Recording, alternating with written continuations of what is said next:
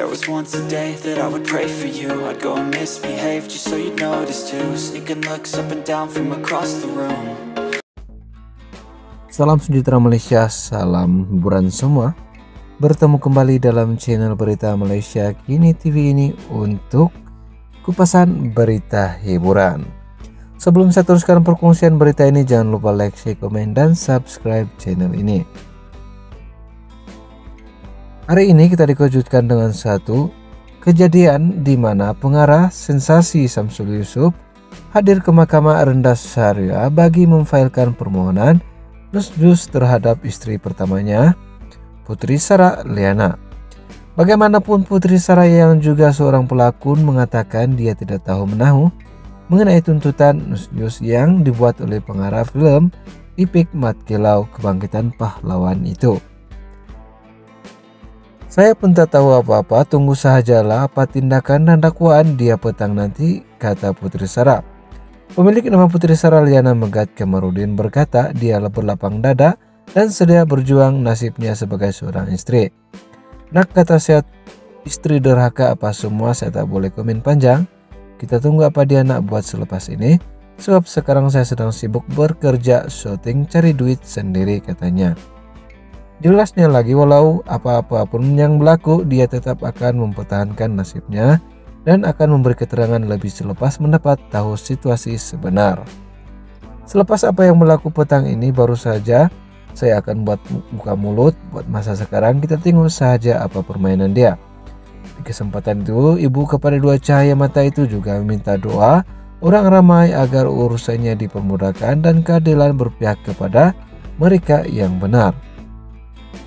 Terdahulu, Samsul Yusuf enggan menceraikan istri pertamanya karena ketika prosedur sebut kes mereka, Samsul Yusuf menyatakan bahwa masih ada sinar untuk mereka dan enggan melepaskan cerai kepada Putri Sarah.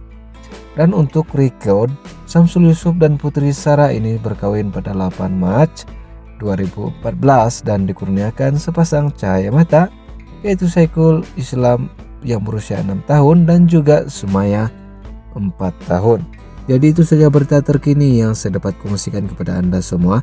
Jangan lupa like, share, komen, dan subscribe channel ini supaya Anda tidak akan ketinggalan berita-berita terkini yang saya akan kongsikan.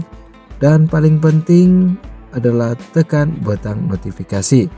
Dan untuk penghargaan kepada subscriber channel ini yang sangat luar biasa, saya mengucapkan jutaan terima kasih kepada Anda semua karena tanpa Anda tanpa subscribe Anda, mungkin channel ini tidak akan berkembang dari semasa ke semasa.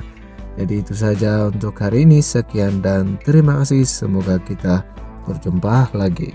Yang mengucapkan hari lahir kepada Sumaya dan semoga Sumaya menjadi anak yang baik. Iras anak jubling Sumaya ini lepas nih boleh berlaku sama-sama dengan Sarah sebab macam kembar pun ada. Antara Netizen yang telah memberikan ucapan adalah Nudaya Happy Birthday Sumaya macam muka anak jebeleng. Kepada Vina pula Happy Birthday Sumaya dan juga Chris kecil-kecil dan cantik Sumaya ni dah besar lagi lalawa Happy Birthday dan banyak lagi komen yang telah memberikan komen. Ramai juga yang minatnya melihat wajah Sumaya dan berharap dapat menjadi kenan pada anak mereka. Semangat juga melihat Sarah yang sentiasa mendahulukan anak-anaknya adalah utama yang memberikan inspirasi kepada lapisan masyarakat khususnya golongan wanita yang saat ini menghadapi masalah seperti Putri Sarah.